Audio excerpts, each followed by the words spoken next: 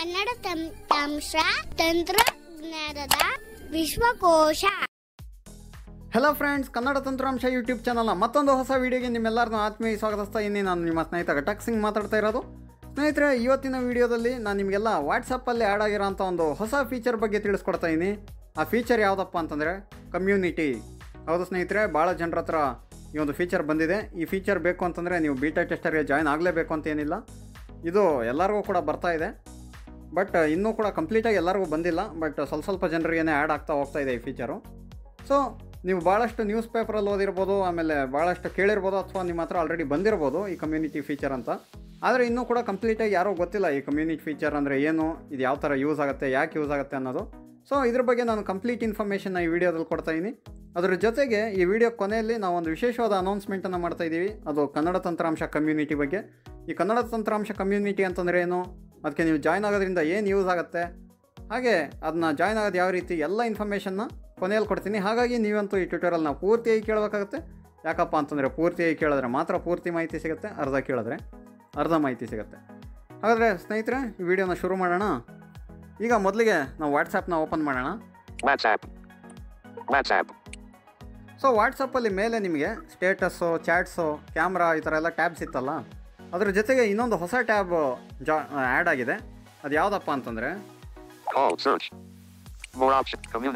ನೋಡಿ friends community ಅಂತ ಒಂದು ಟ್ಯಾಬ್ ಬಂದಿದೆ ಸೊ ಈ ಕಮ್ಯುನಿಟಿ ಮೇಲೆ ಕ್ಲಿಕ್ ಮಾಡೋಣ ಕಮ್ಯುನಿಟಿ ಸೆಲೆಕ್ಟೆಡ್ Page 1 of 4. ಇಲ್ಲಿ ನೀವು Chats. Status. Calls Introducing communities. Easily organize your related groups and send announcements. Now, your communities, like neighborhoods or schools, can have their own space.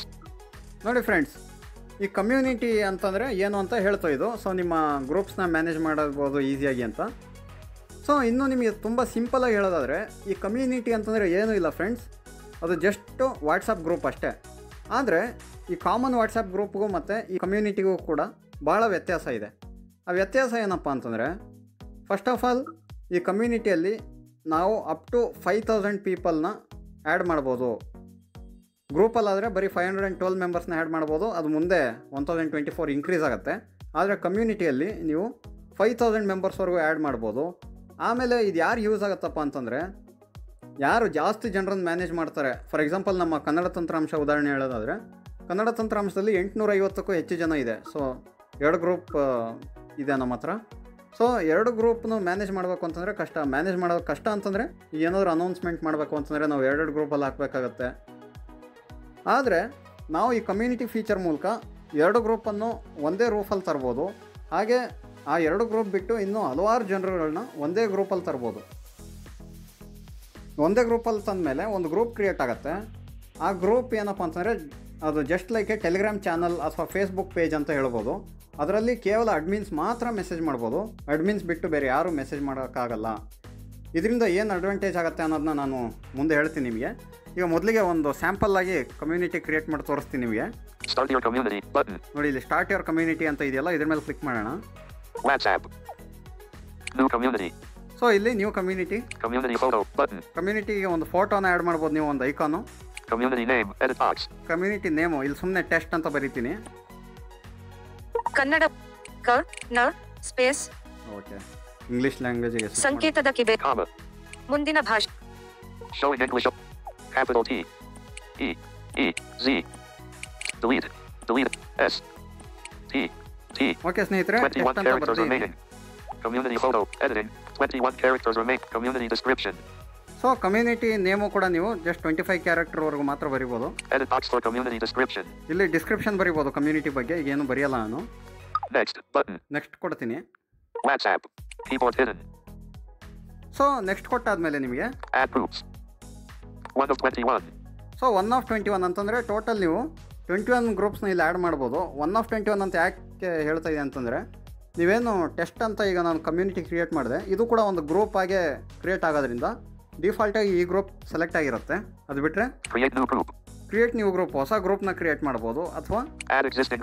Add existing groups ಇದ್ರ ಇದ್ರ ಮೇಲೆ click ಮಾಡೋ ಮೂಲಕ ನೀವು ನಿಮ್ಮ ಗ್ರೂಪ್ಸ್ನ add ಮಾಡ್ಬೋದು ಈ ಕಮ್ಯುನಿಟಿಗೆ ಸೊ ಇದ್ರ ಮೇಲೆ ಕ್ಲಿಕ್ ಮಾಡಿದಾಗ ನೀವು ಯಾವ ಯಾವ ಗ್ರೂಪ್ಸ್ಗೆ ಅಡ್ಮಿನ್ ಆಗಿರ್ತೀರೋ ಆ ಗ್ರೂಪ್ಸ್ ಮಾತ್ರ ತೋರಿಸುತ್ತಿಲ್ಲಿ ನೀವು ಅಡ್ಮಿನ್ ಆಗಿಲ್ದಿರೋಂಥ ಗ್ರೂಪ್ಸ್ನ ಇದಕ್ಕೆ ಆ್ಯಡ್ ಮಾಡೋಕ್ಕಾಗಲ್ಲ ಸೊ ನೀವು ಆ ಗ್ರೂಪ್ಸ್ನ ಈ ಕಮ್ಯುನಿಟಿಗೆ ಆ್ಯಡ್ ಮಾಡಿದಾಗ ಏನಾಗುತ್ತಪ್ಪ ಅಂತಂದರೆ ಆ ಗ್ರೂಪಲ್ಲಿ ಇರೋರೆಲ್ಲ ಆಟೋಮೆಟಿಕಲಿ ಈ ಕಮ್ಯುನಿಟಿಗೆ ಜಾಯ್ನ್ ಆಗ್ತಾರೆ. ಸೊ. ಆ್ಯಡ್ ಎಕ್ಸಿಸ್ಟಿಂಗ್ ಗ್ರೂಪ್ ಇದ್ರ ಮೇಲೆ ಕ್ಲಿಕ್ ಮಾಡಿ ಒಂದೆರಡು ಗ್ರೂಪ್ನ ಆ್ಯಡ್ ಮಾಡಿ ತೋರಿಸ್ತೀನಿ ನಿಮಗೆ. Groups you're an admin of. Eh, KT Ratchet Savicom. Rackham School Under. Major Pandy Mask. Good Desert. KLE Cop. KT for Audio Exit. Kanata 10. Best Friends. 6-4 Big Hitter. Best Friend. Okay ಒಂದು ಮತ್ತು ಇನ್ನೊಂದು add ಮಾಡ್ತೀನಿ 6 JS. Con- Club. Technology. Sports Set, Only Crit. Unit Narrate. Admin. Admin Pan. Okay friends ಎರಡು ಗ್ರೂಪ್ನ select ಮಾಡಿದ್ದೀನಿ ಈಗ next ಮೇಲೆ click ಮಾಡ್ತೀನಿ ರೈಟ್ ಸೈಡ್ ಕೆಳಗಡೆ ನೆಕ್ಸ್ಟ್ ಅಂತ ಸಿಗುತ್ತೆ ನೀವು ಎಷ್ಟು ನಿಮ್ಮ ಗ್ರೂಪ್ಸ್ ಇದೆಯೋ ಎಲ್ಲ ಸೆಲೆಕ್ಟ್ ಮಾಡಿ Next. Button. ನೆಕ್ಸ್ಟ್ ಮೇಲೆ ಕ್ಲಿಕ್ ಮಾಡಿ WhatsApp. ಪ್ರೂಫ್ ಡಿಸ್ಕಪ್ ಡಾಟ್ಸ್ ಮಿದ್ ಗ್ರೂಪ್ ಇದೊಂದು ಅನೌನ್ಸ್ಮೆಂಟ್ ಗ್ರೂಪ್ ಆಗಿರುತ್ತೆ. ಆಡ್ ಮಿತ್ ಕೆ ಟಿ ಅಪ್ರೊ ಫ್ರೆಂಡ್ಸ್ ಅಪ್ರೊ ನು ಬದ್ನೆ ಸೊ ಎರಡು ಗ್ರೂಪ್ನ ಆ್ಯಡ್ ಮಾಡಿದೀವಿ. ನೆಕ್ಸ್ಟ್ ಕೊಡೋಣ. ಕಮ್ ಯೂ ಓಕೆ ಓಕೆ ಕ್ರಿಯೇಟ್ ಆಯ್ತು ಫ್ರೆಂಡ್ಸ್ ಕಮ್ಯುನಿಟಿ ಟೆಸ್ಟ್ ಡಾಟ್ 3 ದಿವ್ ತ್ರೀ ಸೊ ಟೋಟಲ್ 3 ಗ್ರೂಪ್ಸ್ ಇದೆ. ಡ್ಯಾಬಿಟೈಟ್ ಬದ್ನಿ ಸೊ ಇಲ್ಲಿಂದ ಬ್ಯಾಕ್ ಬರ್ತೀನಿ ಈಗ. ಬ್ಯಾಕ್ ಬ್ಯಾಟ್ಸ್ ಆ್ಯಬ್ ಬ್ಯಾಕ್ ಚಾಟ್ಸ್ ಡೇಟ್ ಶಾಪ್ ಚಾಟ್ಸ್ ಮಾಮೀ ಈಗ ಚಾಟ್ಸ್ ಅಲ್ಲಿ ಇದೀನಿ ಚಾಟ್ಸ್ ಅಲ್ಲಿ Best friends. Free poll button. Archived. Best admin panel game test. Free poll at 14 p.m. Ulanin Jaluvrich. Karthik. Kavya back. WhatsApp. ನೋಡಿ ಫ್ರೆಂಡ್ಸ್ ಇಲ್ಲಿ ನಮ್ಮ ಕಮ್ಯುನಿಟಿ ಗ್ರೂಪ್ ಏನು ಕ್ರಿಯೇಟ್ ಮಾಡಿದ್ದೆ ಟೆಸ್ಟ್ ಅಂತ ಅದರೊಳಗೆ ಇದ್ದೀನಿ ಈಗ ನಾನು ಇಲ್ಲಿ ನಾವು ಮಾತ್ರ ಮೆಸೇಜ್ ಮಾಡ್ಬೋದು ಈಗ ನಾನೇ ಕ್ರಿಯೇಟ್ ಆಗಿರೋ ಆಗಿರೋದ್ರಿಂದ ನಾನು ಅಡ್ಮಿನ್ ಆಗಿರ್ತೀನಿ ಬೈ ಡಿಫಾಲ್ಟು ನಾನು ಮಾತ್ರ ಮೆಸೇಜ್ ಮಾಡ್ಬೋದು ಬೇರೆಯವ್ರು ಯಾರು ಕೂಡ ಮೆಸೇಜ್ ಮಾಡೋಕ್ಕಾಗೋದಿಲ್ಲ ಆಮೇಲೆ ಈ ಕಮ್ಯುನಿಟಿಯಲ್ಲಿ ಯಾರ್ಯಾರು ಜಾಯ್ನ್ ಆಗ್ತಾರೆ, ಅವ್ರು ಯಾರು ಕೂಡ ಬೇರೆಯವ್ರು ಯಾರನ್ನೂ ತೋರಿಸಲ್ಲ ಯಾರ್ಯಾರು ಇದ್ದಾರೆ ಅಂತ. ಟೋಟಲ್ ಎಷ್ಟು ಜನ ಇದ್ದಾರೆ ಅಂತ ಮಾತ್ರ ತೋರಿಸುತ್ತೆ. Total for example ten members ಅಂತ ತೋರಿಸುತ್ತೆ. ಅದು ಬಿಟ್ಟರೆ ಯಾರ್ಯಾರು ಅಂತ ತೋರಿಸೋದಿಲ್ಲ. ಬರೀ ಅವರಿಗೆ ಆ ಗ್ರೂಪಲ್ಲಿ ಅಡ್ಮಿನ್ ಒಬ್ಬರು ಮತ್ತು ಅವರೊಬ್ಬರು ಅಷ್ಟೇ ತೋರಿಸೋದು. ಸೊ ಈ ಕಮ್ಯುನಿಟಿಗೆ ಜಾಯ್ನ್ ಆಗೋದ್ರಿಂದ ಪ್ರೈವಸಿ ಕೂಡ ಹೆಲ್ಪ್ ಆಗುತ್ತೆ. ಸೊ ಅದ್ರ ಬಗ್ಗೆ ನಾವು ಮುಂದೆ ಮಾತಾಡೋಣ. ಈಗ ಈ ಕಮ್ಯುನಿಟಿಯಲ್ಲಿ ನೀವು ಮೆಸೇಜ್. ಅನೌನ್ಸ್ಮೆಂಟನ್ನು ಮಾಡ್ಬೋದು ಏನಾದರೂ ನೀವು ಇಲ್ಲಿ ಹಾಕಿದ್ರೆ ಟೋಟಲಿ ಈ ಕಮ್ಯುನಿಟಿಯಲ್ಲಿ ಯಾರ್ಯಾರು ಇದ್ದಾರೋ ಎಲ್ಲರೂ ಕೂಡ ಮೆಸೇಜ್ ಹೋಗುತ್ತೆ ಅವರು ಜಸ್ಟ್ ನೋಡ್ಬೋದು ಅಷ್ಟೇ ಅದನ್ನ ಓಕೆ ಪಾರ್ಟಿಸಿಪೆಂಟ್ಸ್ ಬರೀ ನೋಡ್ಬೋದು ಸೊ ಇಲ್ಲಿಂದ ಬ್ಯಾಕ್ ಬರೋಣ. ಮತ್ತೆ ಕಮ್ಯುನಿಟಿ ಒಳಗೆ ಹೋಗ್ತೀನಿ More, sir, more options. Community. Community. Selected. Page 1 of 4. So ಈ ಕಮ್ಯುನಿಟಿಯಲ್ಲಿ ನಾವು ಏನೇನು ಮಾಡ್ಬೋದಪ್ಪ ಅಂತಂದರೆ Chats. 8. Status. Calls. New community. Test. So test ಅಂತ ಇದೆಯಲ್ಲ ಈ ಕಮ್ಯುನಿಟಿ ಒಳಗೆ ಹೋಗ್ತೀನಿ. ಟೋಟಲ್ ತ್ರೀ ಗ್ರೂಪ್ಸ್ ಇದೆ options. Button. ಮೋರ್ ಆಪ್ಷನ್ಸಲ್ಲಿ ನೋಡೋಣ ಏನೇನಿದೆ ಅಂತ.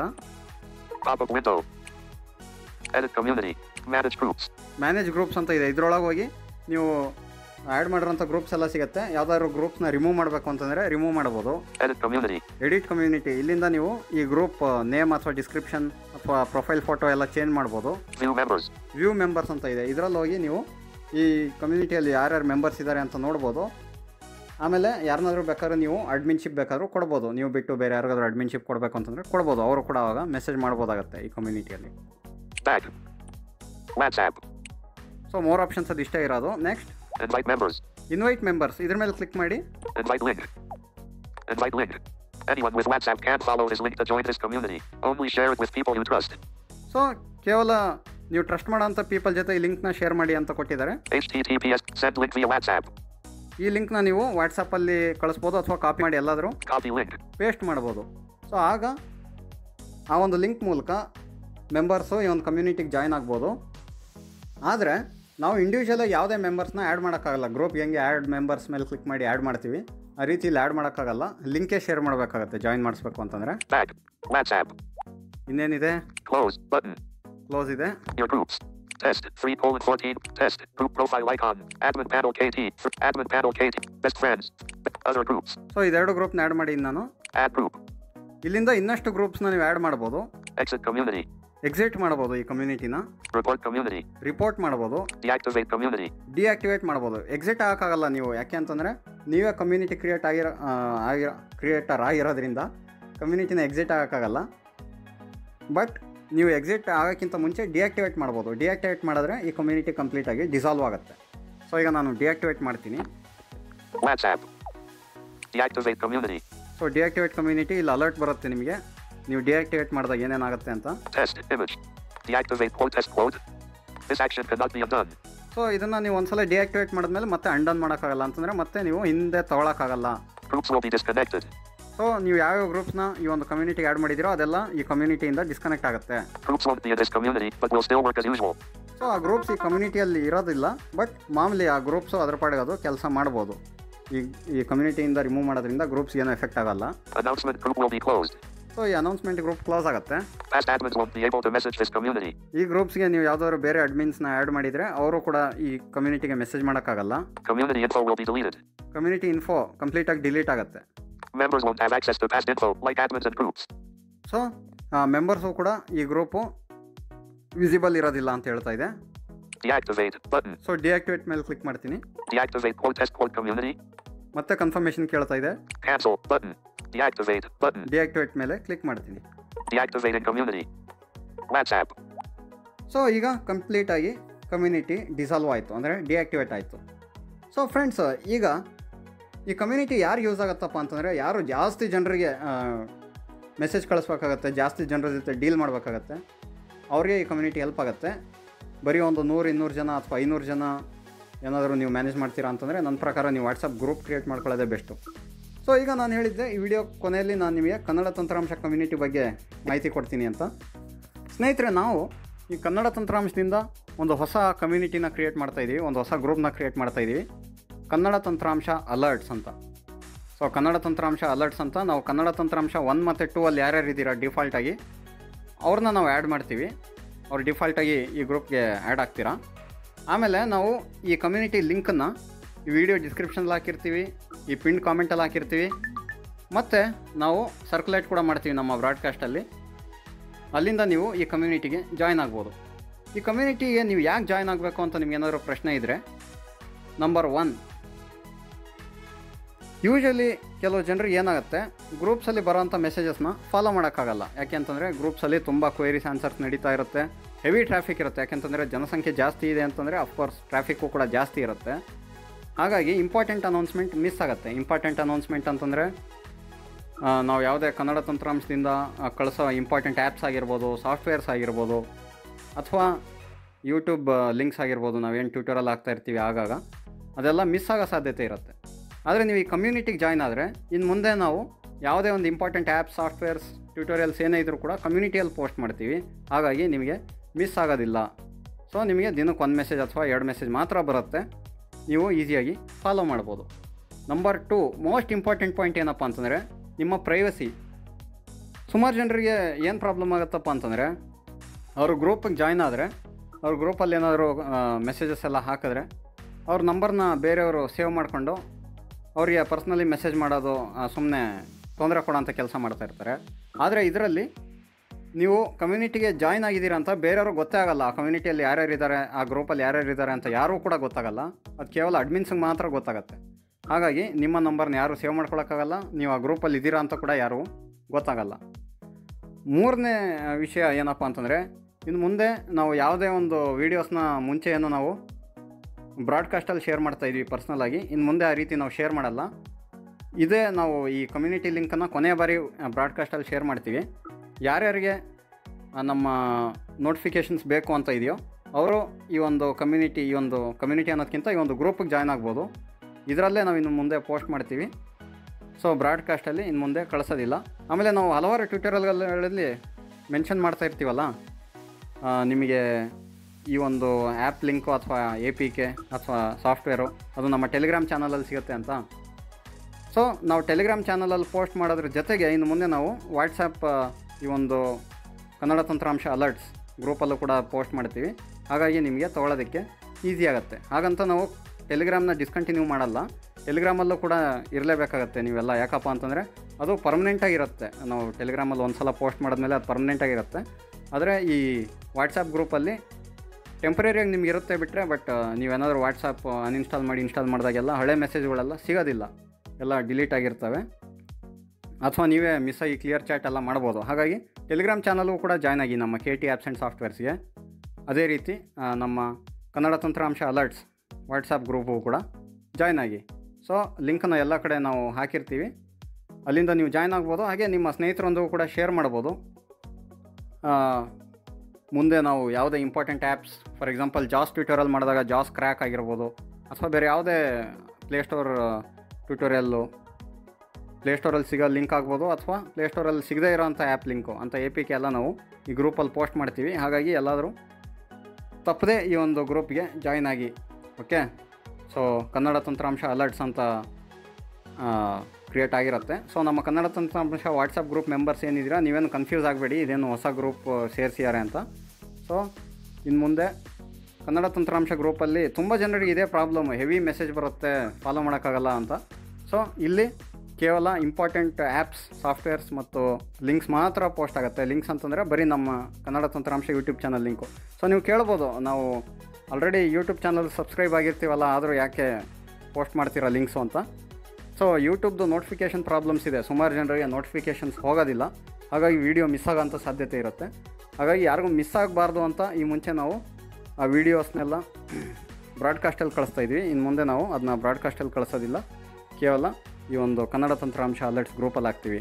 ಸೊ ತಪ್ಪದೇ ಜಾಯ್ನ್ ಆಗಿ ವಿಡಿಯೋ ಪಿಂಡ್ ಕಾಮೆಂಟ್ ಮತ್ತು ಡಿಸ್ಕ್ರಿಪ್ಷನಲ್ಲಿ ನಿಮಗೆ ಸಿಗುತ್ತೆ. ಅಥವಾ ನಾವು ಬ್ರಾಡ್ಕಾಸ್ಟಲ್ಲೂ ಕೂಡ ಕೊನೆಯ ಬಾರಿ ಈ ಒಂದು ಮೆಸೇಜ್ನ ಪೋಸ್ಟ್ ಮಾಡ್ತೀವಿ. ಅದ್ರ ಮೂಲಕ ಜಾಯ್ನ್ ಆಗಿ ಇನ್ನು ಮುಂದೆ ನಿಮಗೆ ಅಲ್ಲೇ ಎಲ್ಲ ಮಾಹಿತಿನೂ ಸಿಗುತ್ತೆ ಅಂತ ಹೇಳ್ತಾ. ಈ ಒಂದು ಕಮ್ಯುನಿಟಿ ಫೀಚರ್ ಬಗ್ಗೆ ನಿಮಗೆ ಸಂಪೂರ್ಣವಾದ ಮಾಹಿತಿ ಸಿಕ್ಕಿದೆ ಅಂತ ಅಂದ್ಕೊಂಡಿದ್ದೀನಿ ಈ ಒಂದು ಕಮ್ಯುನಿಟಿ ಫೀಚರ್ ಬಗ್ಗೆ ನಿಮಗೆ ಅರ್ಥ ಆಗಿದರೆ, ಈ ಒಂದು ವಿಡಿಯೋ ನಿಮ್ಗೆ ಇಷ್ಟ ಆಗಿದರೆ ವೀಡಿಯೋನ ಲೈಕ್ ಮಾಡಿ. ಹಾಗೆ ನಮ್ಮ ಚಾನಲ್ ಯಾರು ಸಬ್ಸ್ಕ್ರೈಬ್ ಆಗಿಲ್ಲ ಈ ಕೂಡಲೇ ಸಬ್ಸ್ಕ್ರೈಬ್ ಆಗಿ ಇನ್ನು ಕೇವಲ ನಾಲ್ಕು ಜನ ಸಬ್ಸ್ಕ್ರೈಬ್ ಆದರೆ three thousand seven hundred and twenty subscribers ಆಗುತ್ತೆ. So first of all thanks so much ಎಲ್ಲರೂ ಕೂಡ ತ್ರೀ ತೌಸಂಡ್ ಸೆವೆನ್ ಹಂಡ್ರೆಡ್ ಗಡಿಯನ್ನು ದಾಟಿಸಿದ್ದೀರಾ ನಮ್ಮ ಚಾನಲ್ನ ಇದೇ ರೀತಿ ನಿಮ್ಮ ಎಂಕರೇಜ್ಮೆಂಟ್ ಇರಲಿ. ನಿಮ್ಮ ಸ್ನೇಹಿತರೊಂದಿಗೆ ಚಾನಲ್ನ ಶೇರ್ ಮಾಡಿ. ನಿಮ್ಮ ಅನಿಸಿಕೆಗಳೇನಾದರೂ ಇದ್ದರೆ ಕೆಳಗಡೆ ಕಾಮೆಂಟ್ ಮಾಡಿ ಅಂತ ಹೇಳ್ತಾ. ಈ ವಿಡಿಯೋನ ಇಲ್ಲಿಗೆ ಮುಗಿಸ್ತಾ ಇದ್ದೀನಿ ಮತ್ತೊಮ್ಮೆ ನಿಮ್ಮನ್ನೆಲ್ಲ ಒಂದು ಹೊಸ ಮಾಹಿತಿಯೊಂದಿಗೆ ಭೇಟಿ ಆಗ್ತೀನಿ ಅಲ್ಲಿವರೆಗೂ ಜೈ ಹಿಂದ್, ಒಂದೇ ಮಾತರಂ, ಜೈ ಕರ್ನಾಟಕ ಮಾತೆ.